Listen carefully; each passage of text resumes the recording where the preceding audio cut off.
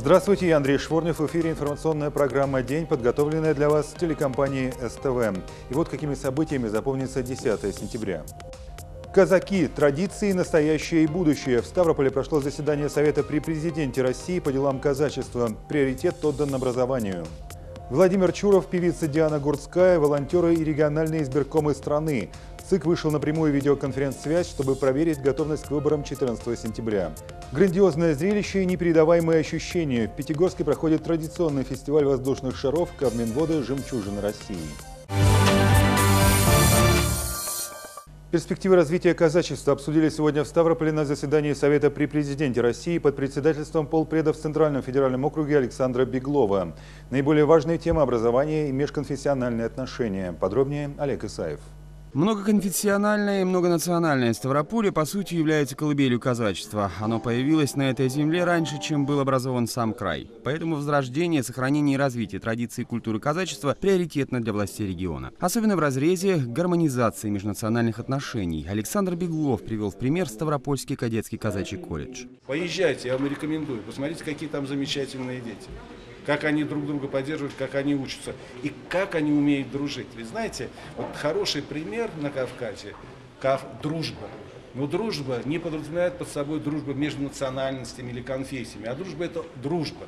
Поддержал эту позицию митрополит Ставропольский и Невиномысский Кирилл. Он отметил, что якобы имеющие место быть межнациональные и межконфессиональные проблемы на Кавказе надуманы и не соответствуют действительности. И примеры этому можно видеть на молодежных мероприятиях, которые в последнее время стали очень популярны в регионе. Вот я недавно буквально открывал с муфтием нашего Ставропольского края православно-мусульманский лагерь на территории Ставропольского края. По 30 молодых ребят – православных конкретно, не конкретно мусульман, которые потом становятся после двух недель совместной такой-то, совместного лагеря большими друзьями, переписываются, друг друга поздравляют. Поэтому единственное, может быть, чего нам не хватает, то, что как раз и сегодня пытается власть осуществлять. И мы, церковь, как можно больше диалога, как можно больше встреч. Глава края Владимир Владимиров отметил, развитие казачества на Ставрополье нужно начинать с образования. Сегодня в крае есть 211 казачьих классов, в которых учатся около 4000 учеников. Есть три казачьих школы и один казачий колледж. Правительством региона просчитан проект строительства в Кисловодске Северокавказского кадетского казачьего корпуса. Ну и продолжение этой работы – это вовлечение казачества в общественную функцию. Охрана, оберегания, я бы даже больше сказал, потому что нельзя ограничиться охраной, потому что мы, с одной стороны, спасаем леса, с другой стороны, боремся с браконьерами, и с третьей, немаловажной стороны, может быть, обеспечиваем общественную безопасность. Но я думаю, и все это должно быть, продолжиться даже не развитием, а через все это должно проходить вот направление храма Филимоновской и развитие э, основы казачества веры, это будет составляющей этой программы. Напомню, сегодня в крае работает закон о казачестве. Согласно этому документу, казаки совместно с сотрудниками МВД охраняют общественный порядок. Десятая часть руководителей муниципальных образований края – казаки. Ставропольские общества активно участвуют в общественно-политической жизни региона и страны в целом. Яркий пример – доставка казаками на юго-восток Украины гуманитарного груза. Кроме того, как прозвучало, именно казачество является тем буфером, который призван урегулировать отношения между различными национальностями и конфессиями Ставрополя. Олег Исаев, Александр Колодко, Ставропольское телевидение телевидения. Избирательная комиссия Ставропольского края сегодня сверяла часы с Центральным избиркомом и коллегами из других регионов страны. В режиме видеоконференц-связи представители субъектов Федерации рассказывали о готовности к единому дню голосования 14 сентября. С чем Ставрополье подходит к этой исторической для себя дате и что еще предстоит сделать за считанные дни до открытия участков, выяснял Леонид Нечепуренко.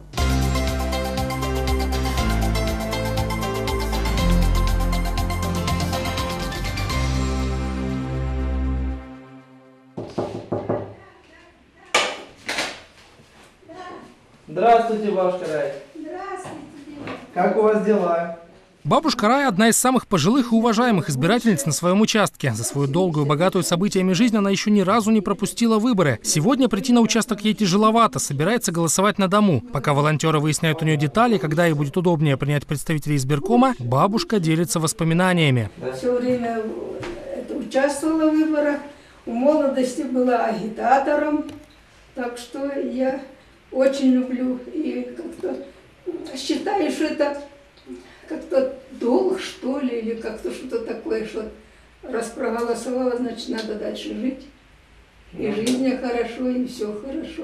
Все ли хорошо с организацией выборов? Есть ли вопросы, проблемы, трудности? В формате видеоконференции выясняют члены краевых избирательных комиссий под председательством главы ЦИК Владимира Чурова. Материала для обсуждения хватает. В одних регионах слишком много жалоб от кандидатов и избирателей. В других подозрительно высокий процент проголосовавших досрочно. Ставропольский край за несколько часов заседания так и не упомянули. Здесь значительных нарушений или спорных моментов не зафиксировано. Планомерно идет избирательная кампания. Э, Система избирательных комиссий работает стабильно, работа ведется, в том числе и с избирателями в настоящий момент, э, ведется э, подомовой, поддворовый обход избирателей, поквартирный, скажем так, обход избирателей, э, направляются извещения, э, приглашения на выборы. Многие уже получили, многие получат в ближайшее время от участковых избирательных комиссий такие приглашения. Ну а кто не получил, э, пожалуйста, обращайтесь на телефоны горячей линии избирательной комиссии Ставропольского края.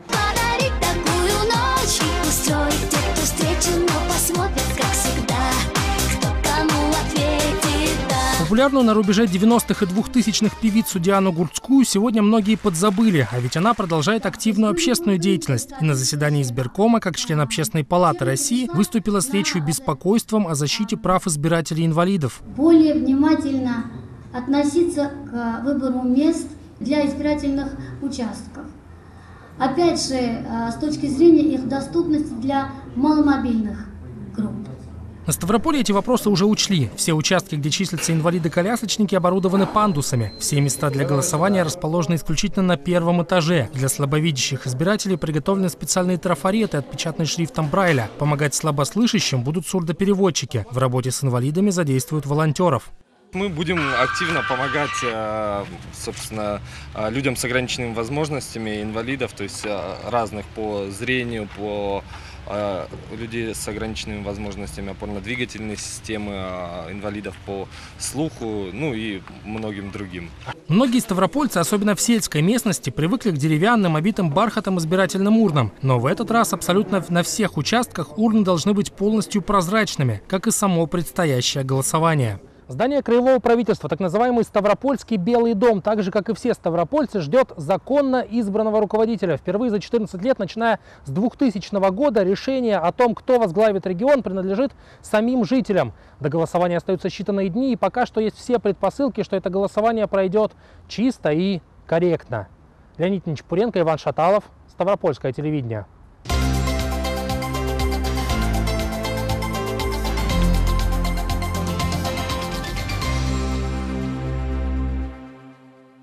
Молодым семьям соцвыплаты на жилье, ветеранам Великой Отечественной субсидии, а жильцам из ветхого и аварийного фонда квартиры в новом доме. Как на Ставрополе реализуется проект «Доступное и комфортное жилье». Эту тему сегодня подняли на заседании в Министерстве строительства, архитектуры и жилищно-коммунального хозяйства края. Алиса Вартазарян подробнее. Национальный проект «Доступное и комфортное жилье» развивается в крае по нескольким направлениям. В первую очередь, это федеральная целевая программа «Жилище», задача которой помочь переселенцам из зон конфликтов, чернобыльцам, инвалидам и ветеранам Великой Отечественной. Обеспечить жильем участников войны планируют до 70-летия Победы. Другое не менее важное направление для Ставрополя – переселение из ветхого и аварийного фонда. Полностью ликвидировать очереди планируют в 2016 году. В конечном итоге за э, три года мы переселим порядка там, около 4 тысяч человек. Еще никого не. А Нет, на сегодняшний момент уже по программе 2013-2014 год у нас порядка 400 граждан уже получили свои квартиры э, в рамках этой программы. Коснулись и темы соцвыплат. Молодым семьям предоставляется финансовая помощь для оплаты квартиры или дома, строительного подряда, первоначального взноса при получении жилищного кредита. На предоставление социальных выплат краю выделены средства федерального бюджета в размере 50,9 миллиона рублей. Это позволит представить социальные выплаты на приобретение жилья 415 молодым семьям. Обсудили на заседании готовность Ставрополя к осенне-зимнему сезону. На 1 сентября подготовлено 767 котельных, 79% от запланировано. 1068 километров тепловых сетей, 80%. Заменено 16,9 километров ветхих сетей, 86%. Сейчас Ставропольский край примерно на 80% готов к отопительному сезону. Работа ведется ежедневно. Коммунальщики проверяют сети и устраняют неполадки. Алиса Вартазарян, Иван Филианов, Ставропольское телевидение. Кавминводы с высоты птичьего полета в небе над Пятигорском всю неделю будут красоваться разноцветные воздушные шары. Столица СКФО принимает гостей и участников 16-го международного фестиваля воздухоплавания. Алина Ткаченко смогла лично оценить драйв покорителей воздушной стихии. 16-й международный фестиваль «Кавказские минеральные воды. Жемчужины России-2014» проходит в Пятигорске. В это же время проводятся соревнования среди лучших пилотов и штурманов мира. Мое личное мнение, что это вот на самом деле одно из лучших мест э, не только в России, но и в мире. Мы ну, достаточно много летаем по всему миру. А здесь э, условия и горы, и равнины. То есть пилотам для посадки нужна равнина, для полетов а, интересных нужны горы. Вот э, в регионе Кавминвод все это присутствует. Там в небе время замирает, поэтому авиаторы и не стареют. Михаил Найдорф из города Долгопрудный уже за 75, а он все летает, все посвящает своих попутчиков в графы и графини. Ведь согласно легенде, негоже простолюдинам парить в небе на воздушном судне. Авиаторы – мужчины, способные управлять летательным аппаратом и подчинить себе ветер. Вернее, способные с ним договориться. Все они сильные и красивые люди. Но что насчет хрупких девушек? Среди участников соревнований были и представительницы прекрасной половины человечества. Десятилетия назад случился первый полет в жизни Виктории. Пять раз выходила из корзины, когда прежде чем взлететь. Потом все-таки решилась и взлетела. С тех пор прошло много лет. Теперь Виктория пилот аэростата, а за ее плечами 9 лет работы штурманом. Улететь подальше от земной суеты довелось и нашей съемочной группы. Внизу железные коробочки везут людей на работу, вокруг ваниль туманного рассвета, а телевизионная башня Машука совсем рядом. Живу я как обычный человек, а мне летать охота. Чтобы поднять такого человека, как я, нужно как минимум 19 тысяч воздушных шариков. Но мы поступили намного интереснее. Сегодня мы путешествуем на воздушном шаре. И пока там 8 утра на Земле, и только утренний кофе люди пьют, мы уже на высоте почти 1000 метров над уровнем моря. 10 экипажей из Краснодара, Новосибирска, Москвы, Астрахани, Дмитрова и Пятигорска будут всю неделю выполнять базовые упражнения «Погоня за зайцем», «Потопление кораблей», «Абордаж», «Прилет», «Локоть». Пилотом нашего аэростата оказался победитель прошлогоднего Пятигорского фестиваля, призер российских соревнований Сергей Войнов. Задача нашего воздушного судна была в том, чтобы двигаться по маршруту. Да, мы выполняем задание. А какое? Называется «Мемориал Гордона Беннета». И задача наша?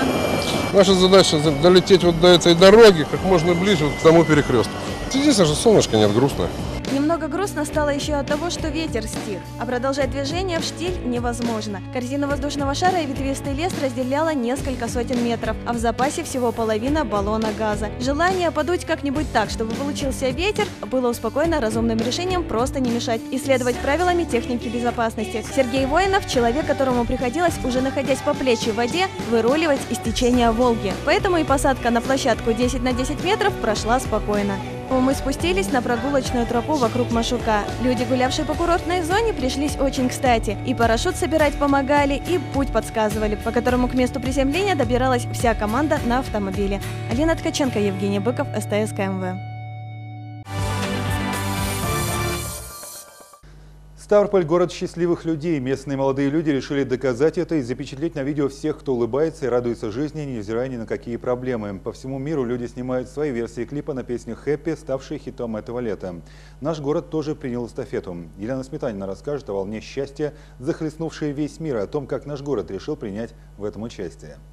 Американский певец Фаррелл Уильям, записывая песню «Хэппи», подумать не мог о том, насколько она станет популярной. Незаурядный клип без спецэффектов, графики и больших затрат. Просто танцующие под ритмичную музыку люди призывают всех остальных не унывать и улыбаться. Только успел выйти клип на большие экраны, как тут же начали появляться пародии. Сидней, Лондон, Париж, Москва, Санкт-Петербург, Казахстан и другие города приняли участие в эстафете счастья по всему миру. Сам Фаррелл Уильям в своем интервью в шоу «Опры» рассказал, что по его мнению мнению, стала причиной популярности его композиции. Понимаете, здесь суть даже не в песне, а людях, которые показаны на видео. Они несут добро и счастье, а слова песни лишь прилагающиеся. Это космический заряд, который проигнорировать просто невозможно. Как известно, Ставрополь официально признан городом, в котором живут самые счастливые люди. Конечно, мы не могли остаться в стороне и тоже подхватили волну хэппи. Уже месяц идут съемки клипа, в котором принимают участие все желающие. Организацией всего процесса занялся 16-летний Саша Жиганов, который посчитал, что идея передавать счастье посредством заряжающего энергией видео по всей планете – это действительно здорово. Парень просто создал страницу в соцсетях и начал набирать народ для участия в съемках клипа. ключевая особенность, она в людях. В людях, в том, как они э, вообще преподносят себя, то есть как они танцуют, как они улыбаются. Это все интересно, все люди разные. Они все делают по-разному. Кто-то прыгает с моста, кто-то прыгает с Нет, хотел сказать с парашюта, но парашюта нет. Кто-то прыгает с моста, кто-то занимается вейкбордингом, то есть э, по воде катается. Кто-то просто танцует на солдате. И они все разные, и они интересные, и в этом вся соль. Также соль состоит в том, что на огромной стене ребята нарисовали граффити, на котором написано «We are happy from Stavropol». Эти кадры также войдут в видео, которое сможет увидеть весь мир. Это будет визитной карточкой ставропольского клипа. Наши ребята пошли дальше. На видео не только люди танцуют, но и выполняют разные трюки, прыгают с высоты, катаются на водной доске. Официальный просмотр клипа, кстати, состоится в День города 27 сентября на Крепостной горе. Не исключено, что на этом видео вы сможете увидеть именно себя. Елена Сметанина, Григорий Муратов, Ставропольское телевидение.